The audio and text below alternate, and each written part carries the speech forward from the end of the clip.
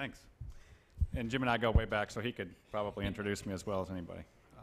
Uh, well, thanks for having me. I'm going to um, talk about a, a, whole host of issues. In fact, I'm going to try to distill a 400 page text into 10 minutes. Uh, I think I can do that. I will do that.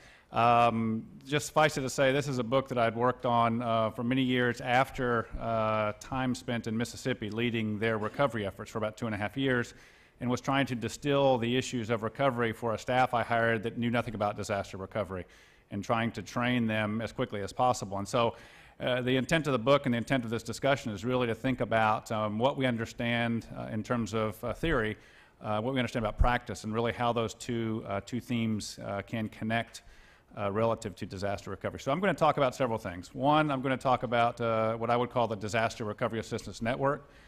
Uh, in the context of that, I'll talk about that network, which is really uh, very loosely defined. Uh, it also differs over time and space. And all of these issues I'll be talking about, in fact, to be honest with you, is a very critical um, evaluation of our national uh, recovery uh, network, if you will, and I'll offer um, some uh, possible solutions. that network that I'll describe tends to deliver three types of resources. Um, uh, both the speakers have talked about them to some extent, but I, am going to talk about three. Uh, one is funding, and that often uh, drives much of recovery. And in fact, I'll even argue that um, uh, recovery drive or funding drives the recovery trajectory in ways that uh, are unsustainable, unresilient, uh, and lead to perpetuating future disasters. another important resource that we often don't um, consider a resource are policies and I'll talk about those across this larger network. Uh, policies that are created by everybody from, in theory, the individual all the way to the uh, international uh, arena. And then a third resource I'll talk about is technical assistance and the delivery of that technical assistance and how it shapes recovery outcomes. So three of the dimensions of that framework I'll talk about are, if you will, the rules associated with those resources and the degree to which they address local needs. I'll talk about the timing of assistance, uh, and finally, I'll talk about uh, horizontal and vertical integration, and, and, I'll explain each of those uh, briefly. And then finally, what I'll, I'll, look to do is wrap up by describing lessons for the uh, community public health, medical, and social services. And I would say, as you're looking and observing uh, some of my comments and some of the, the, graphics I show, I would encourage you to think about them in the context of, of public health, medical, and social services. So if you think about this larger disaster recovery assistance network, and so on the vertical axes uh, is a set of resource rules across those three resources, funding, policy, and technical assistance. I still view that as a very critical element. Uh, and then on the, on the uh, horizontal axis is understanding of local needs. And I should say this network or this graphic is a hypothetical representation. And it could, uh, this may not represent a particular disaster, it could, uh, but also those nodes, if you will, could be shifted, could be moved over time down this uh, kind of this um, diagonal axis. And really the intent of this graphic is to show that, for example, nations uh, that do provide assistance in major disasters often have highly prescriptive rules uh, associated with the resources that they deliver. And on the flip side, they often have a very poor understanding of local needs and conditions. Uh, so, I mean, that all makes sense intuitively. Uh, on the other end of the spectrum is the individual. Uh, that individual that has experienced disaster. They often have intense, very deep understanding of local needs and conditions, what we often refer to as indigenous knowledge. Uh, yet they often, and often the rules, if you will, that they create may be quite flexible. Uh, one of the fundamental challenges we face is that the recovery programs and policies that we've created in this country uh, often don't engage the individual. They often don't engage nonprofits and so forth uh, in the, the development of policies and programs that, that should better address local needs. Within the middle, if you will, this large, what I would call a zone of uncertainty, these are groups and organizations that, to be honest with you, we know less about. We tend to overstudy the federal government and often focus on individuals and sometimes nonprofits and so forth. But for example, we often don't talk a lot about the media's role uh, in spreading misinformation uh, and doing an actual disservice uh, following disaster, uh, or special districts or community development organizations that often reach out and assist the, the most needy. And so this is a fundamental challenge that we face is how do we change, if you will, the makeup of this? And I, and I will show, uh, and I'll go back to this in time to show how planning can uh, modify this system. Just wanting a couple of examples related to the medical field. If you think about other nations, post-Katrina, an example, a pretty um, stark example, is uh, a, a, whole host of Cuban physicians were willing and ready to come into the U.S. And actually, we didn't have a, we still don't, frankly, have a good protocol to accept international aid. And a national policy, if you will, stated publicly was when you overthrow Castro, we will allow the physicians in. And that, and that sounds actually ridiculous, but that is actually the, the public record. Uh, and that was a comment made by the White House. I mean, these are issues that to me are just are, um, are, pretty shocking, really, and I think we can do a lot better than that. Uh, another issue, so this is the rules and understanding of local needs. The second dimension is the timing of assistance. This is a, uh, a, a, graphic that's been used for many, many years. Um, many people, in fact, FEMA still utilize it. Um, I would argue it's outdated. It's a simplified representation of reality. It assumes that disaster recovery is very much a linear process. There is some truth to it in the sense that you do search and rescue before you rebuild communities, uh, you pick up the debris, or as they call rubble, before you do certain other things. However, what this implies is that recovery is very linear, and it implies a uniform recovery across communities. And, and to be honest with you, that um, in many ways, and it was described by many of the community, many of the speakers, is uh, recovery does not happen at the same speed. Uh, some people never recover from disaster, uh, particularly those that are the most uh, socially vulnerable and marginalized. So, what I'm interested in thinking about is the timing of assistance as delivered by these organizations. And again, I should even say within this graphic, just think about that one node, it says federal government. Think about the complexity of that and all of the players there. So they all have different rules, they all have different policies, they all deliver resources at different points in time. I'll give one example of how, to me, what's important for us to understand is this, the timing of the delivery of assistance. Uh, Rob, I think, alluded to this, and I'll give one pretty stark example if you think about this in the context of timing. Uh, after uh, Katrina uh, in Mississippi, 30-foot storm surge destroyed 50,000 homes on the Mississippi Gulf Coast. Um, the nonprofit community, uh, which is often viewed as, as um, kind of the savior, if you will, in recovery, and the federal government is often viewed as, as overly bureaucratic. In many ways, that, that can be a problem in the sense that uh, what happened in, in uh, a number of communities is the nonprofits were going into communities, rebuilding destroyed neighborhoods, including those among the most vulnerable, very quickly, and they could do that. They were more nimble. They could deliver their resources more quickly than the federal government.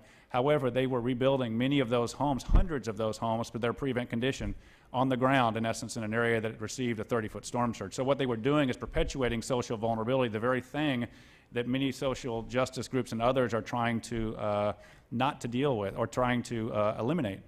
Uh, if, in fact, through good planning, and again, theoretically, if they coordinated their resources with the federal government, they may have paid to elevate the new construction. The nonprofit builds the home.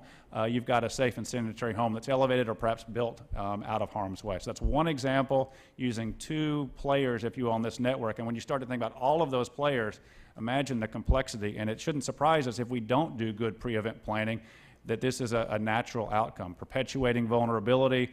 Uh, those in positions of power are making the, the bulk of the decisions. Uh, recovery is laborious and it's not well coordinated.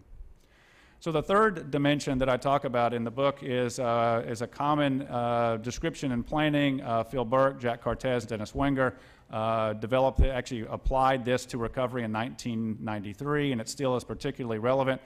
Uh, and it's fairly basic. It's a, it's a good, to me, it's a pretty elegant way of describing uh, the coordination issue uh, in, at the community level in disaster recovery.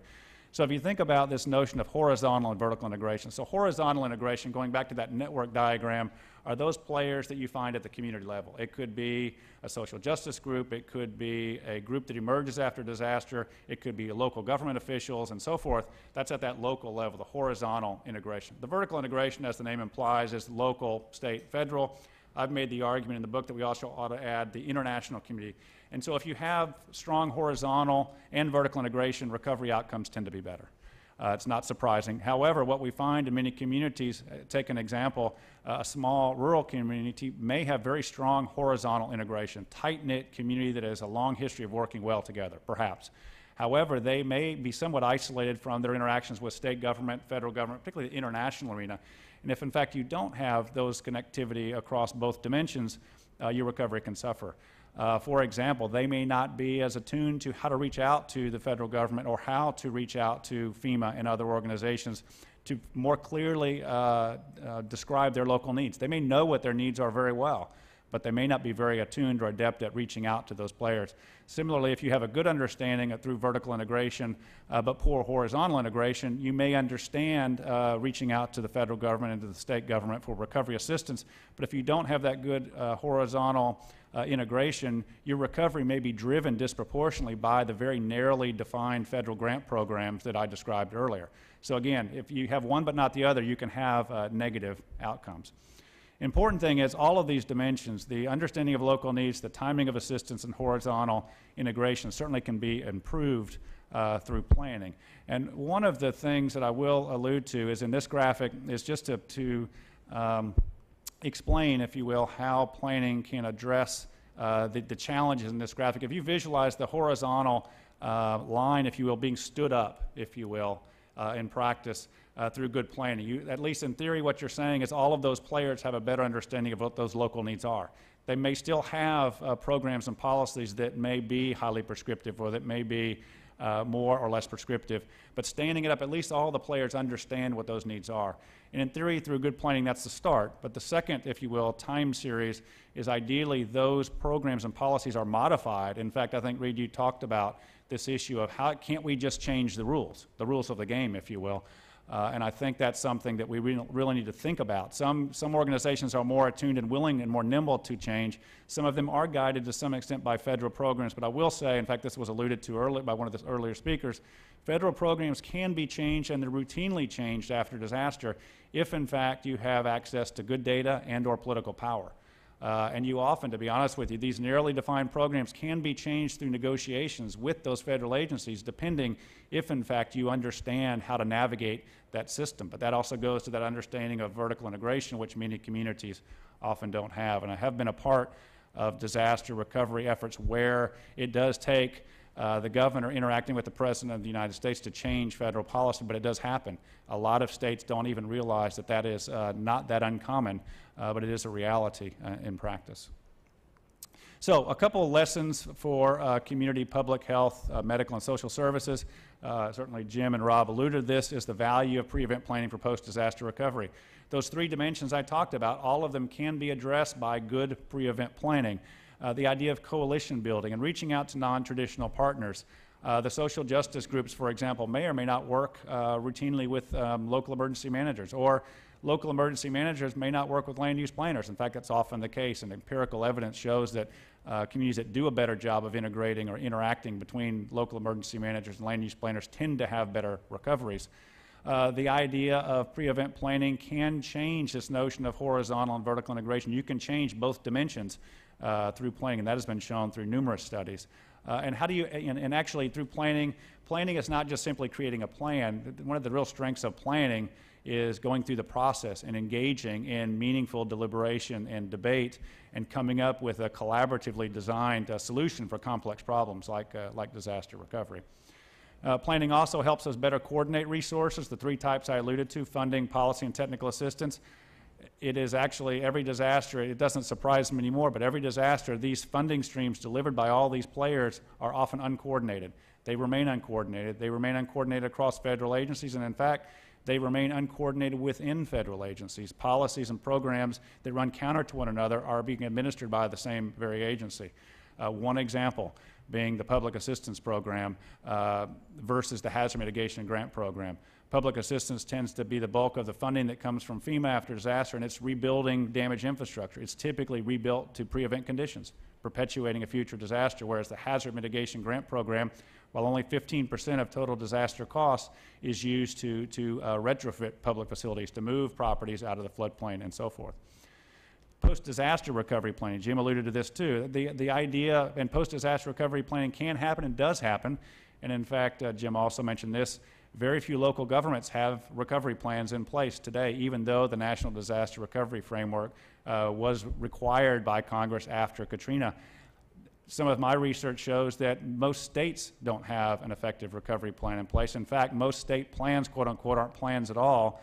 They're pr predominantly a list of federal grant programs that they should implement after disaster. That's not a plan.